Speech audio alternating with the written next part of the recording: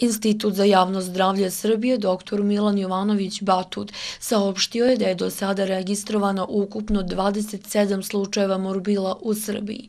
Među obolelima je šestoro djece uzrasta od 3 do 5 godina, od kojih je petero bilo nevakcinisano, a jedno je primilo jednu dozu vakcine sa komponentom protiv morbila.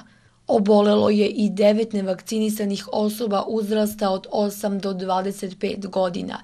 Jedna potpuno vakcinisana osoba uzrasta 16 godina, kao i sedam osoba starih od 40 godina nepoznatog vakcinalnog statusa. Komplikacija u vidu upale pluća bila je prisutna kod troje obolelih.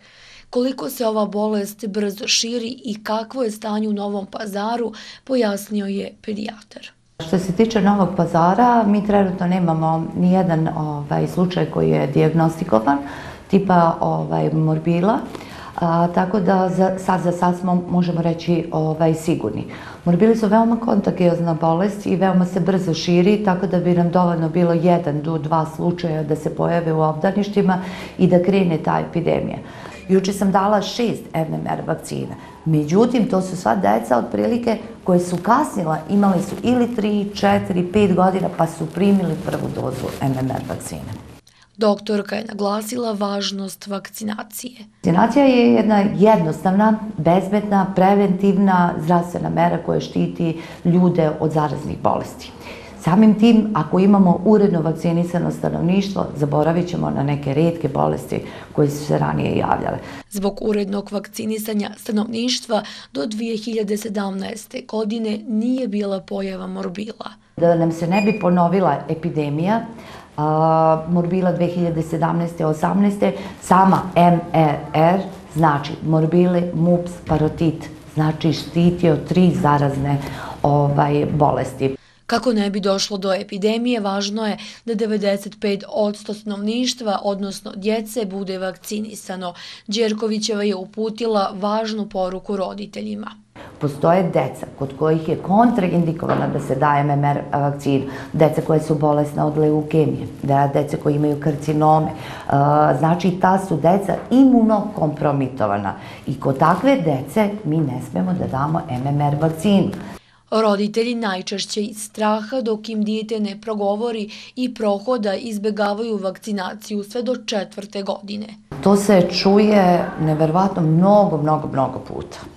I a, to uopšte nije ispravno. Autizam i, e, autizam i MMR vakcina a, znači su se negde povezali, ali to je jedna potpuna laž.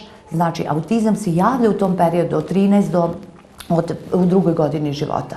I negde se poklopila tu MMR vakcina. Naglasila da u potpunosti razumije i taj strah kod roditelja. Razumem taj strah kod roditelja ali nekako moje je da razbijem strah kod roditelja da ne povezuje MMR vakcinu sa, ovaj, sa autizmom. Naravno, mi treba da razbijemo te predrasude, da ne postoji neka uzajemna veza između MMR vakcine i toga da li je dete prohodilo i progovorilo.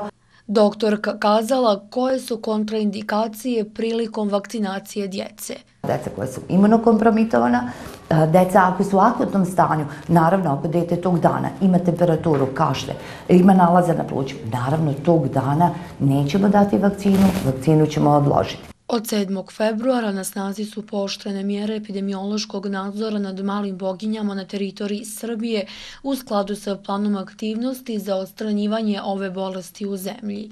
Batut navodi da je od početka godine u zemljama Evropske unije registrovano oko hiljadu slučajeva malih boginja sa sedam smrtnih ishoda.